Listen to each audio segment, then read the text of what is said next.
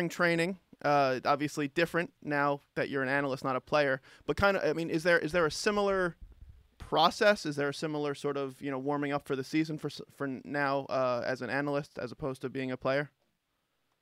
Um, absolutely. You you got to you know look at who's going out of the game, who's coming into the game. Um, this year, like you know, once every four years, the World Baseball Classic's going on. Cuba just beat Japan, so uh, in Group A, they won that division. Um, and now you've got uh, injuries. Let's just say Mark Teixeira, so he's got to be replaced not only on the Yankees but on the WBC team. Um, a lot of teams have injuries. The Dodgers they spent an awful lot of money to acquire Carl Crawford. He comes to spring training hurt, so as far as whether you're analyzing it or you're just in it, um, all of these things are kind of a factor. Where do you stand on the WBC? I think obviously uh, Yankee fans maybe not a huge fan of it today, um, and obviously it's it's it's not a perfect system doing it uh, this early in spring training. But is is there a better way to do this? Is it is it worth the I guess the the injury risk uh, for growing the global game? I think that there's always a risk. I played winter baseball three different times, and that actually helped get me to the major leagues, developing a certain pitch um, to go along with the fastball.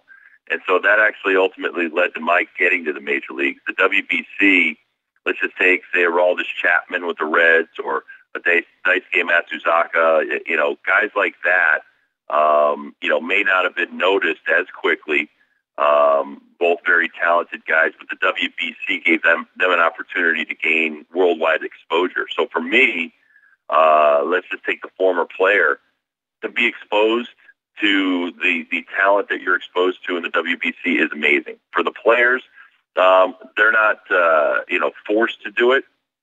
Uh, especially the American-born players or the Latin players that are playing year-round anyway. So having played with a lot of the Dominicans, Venezuelans, Mexicans, Puerto Ricans, they're going to play baseball year round anyway.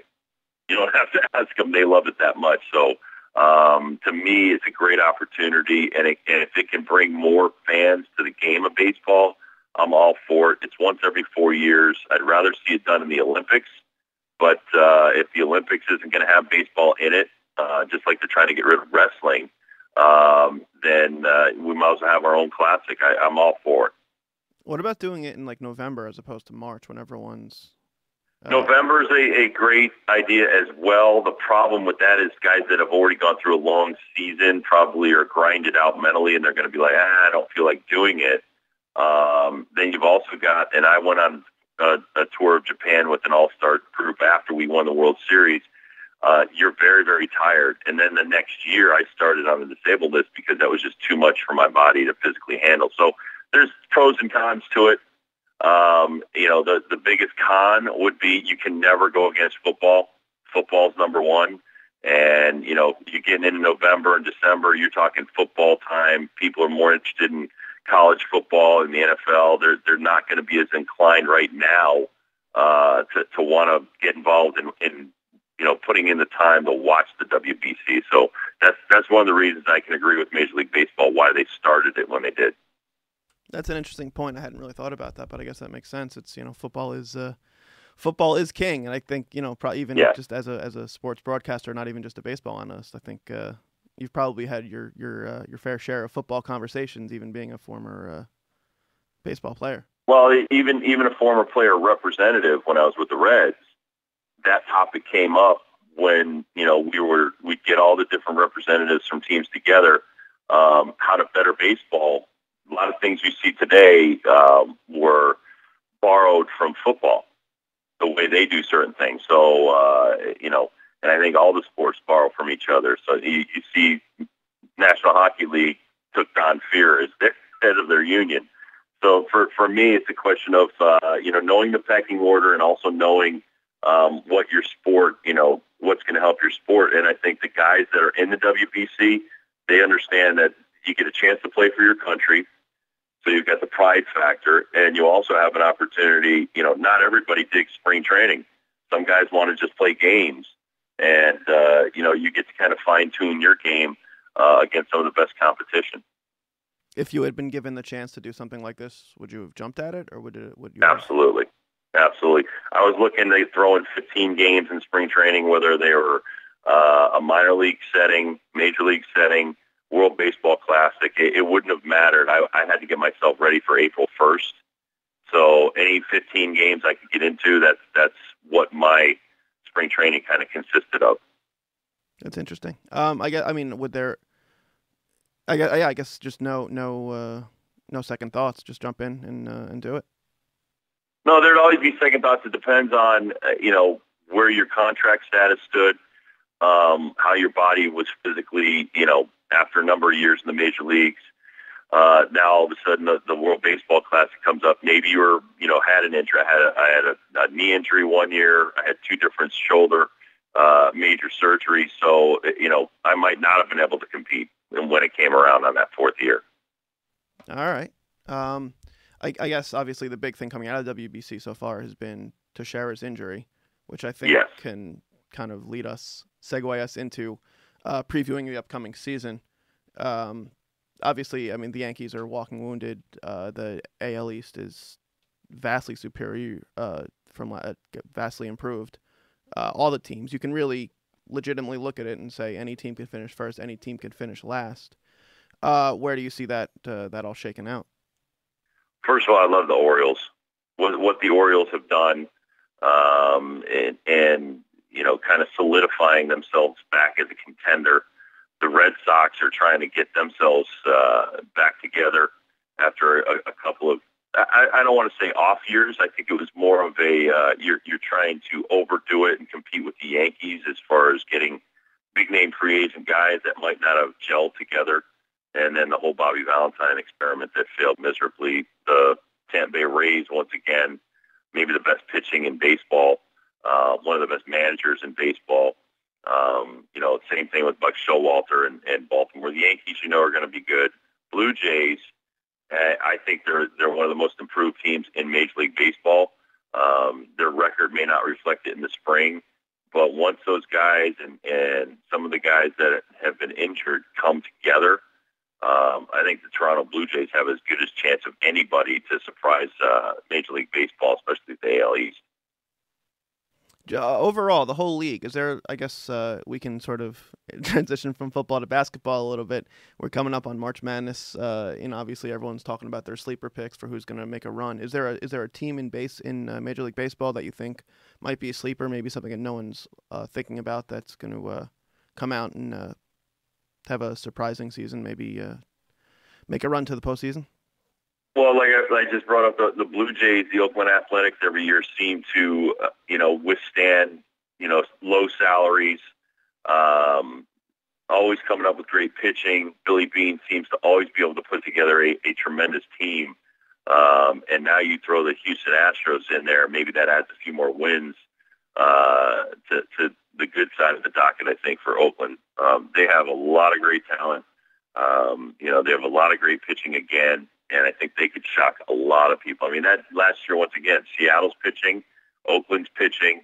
Uh, you know, now you've got the Angels in that mix, uh, going out there and, and bringing in Josh Hamilton. The Rangers just picked up Derek Lowe uh, to, to add some depth to their rotation. So it's, I, I think the Oakland Athletics might be a sleeper that, that people should worry about. Oh, yeah, you know, another one. Let me let me uh, have another one. The Cleveland Indians.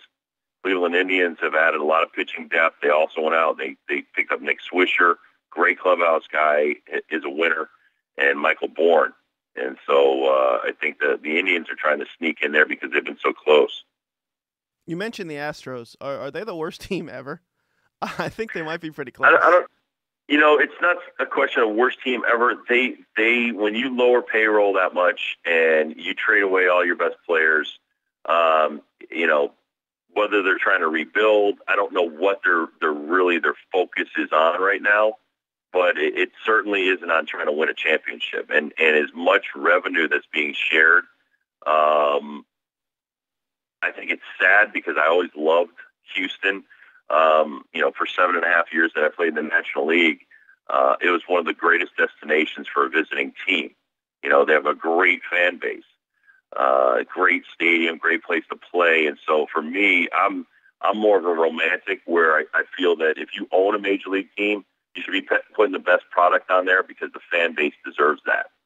And so I, you know, I'm not going to second guess a new owner, but uh, you know, if you're not in it to win it, um, and you're just in it because it's a profit maker for you, then, then that hurts the game. And so, hopefully, in the next uh, few years, they they put more money into the product. How does how does a player on that team get through the season? I mean, you go in kind of knowing you're going to lose. How, I mean, what, what, No, because I played on some tough teams um, with the Brewers. We we I, I'm I'm not going to say we didn't know we had a chance to win. Uh, we always felt we had a chance to win, but when you look at the other team, and they have maybe a, a better roster. You know, it's going to be. excuse me. Um, it, it's going to be an uphill battle, and you're going to have to play per- perfect baseball. But for these players, they're getting an opportunity, and Bo Porter getting an opportunity to manage now. Um, you're getting a major league opportunity. So whether you're the worst team or you're in the middle of the pack, it doesn't matter. It's it's there's only one level you want to play at, and this is the level. And so for all of these guys, um, they're being noticed. You could always you, you you don't ever believe this might be your final destination as a player. Um, and just let, let's just take Trevor Bauer for you know example. He was first pick in the draft a couple years ago by the Diamondbacks, and now all of a sudden he's on the Cleveland Indians. You know, um, he might have thought, eh, I don't really love this organization, or I'm not getting along with the organization. Um, but playing in the major leagues, other teams have the opportunity and the exposure to say, hey, we need that guy, we want that guy. And that's, uh, you know, right now with what's going through their heads. You never think you're not going to win a game. So let's talk about the TV show. Let's talk about, uh, why don't you tell me, uh, it, it's coming from a, a, reality producer who has a, uh, a pretty, uh, pretty stellar uh, history. Deadliest Catch, Ice Road Trucker, Storage Wars. Uh, what's the show? Uh, this is called Raising the Bar, and uh, we filmed it last October at the American Royal World Series of Barbecue in Kansas City. And uh, you know, Thom Beers partnered with George Dickel Whiskey, and essentially the concept because George Dickel Whiskey is handmade the hard way. Uh, they have a, a very small uh, group of people that have been doing this for, for generations. There's just 25 people that basically make their whiskey. Um, put six teams. We uh, put the task to them. They had eight hours to build the ultimate bar. And Original Productions filmed it. And uh, it's on Hulu right now. So go check it out. You can either put in uh, George Dickel Whiskey or George Dickel or Raising the Bar on Hulu and check it out. I mean, the first episode's been up there a week. It's it's getting uh, really good reviews because not just Thom Beers and George Dickel as the sponsor, but the, the people that are making the bars by hand in uh, under eight hours. It's just amazing to see what uh, you know American ingenuity and craftsmanship, all things that I'm jealous of because I can't personally build anything. Um, when you see these guys weld together 4,000 washers and put hydraulic arms into the bar and do all the things that went into making this bar in eight hours. Um, it, it, it is really amazing. That's uh, I I once um was in a bar and I had just grown a beard and I told the girl I was uh, one of the guys from Deadliest Catch and she believed me. And so I will always, uh, I, I, will, I will always uh, have a, uh, a place in my heart for the producer of your show, uh, for that story. Um, I thanks very much. Thanks for uh, taking a few minutes, and uh, good luck with the show. Good luck with the season, and uh, you know we'll see. Uh, we'll see if your predictions come uh, come true. We'll be following the A's and the Indians and see what happens. All right. Thanks a lot, Justin. Thanks very much, Rob.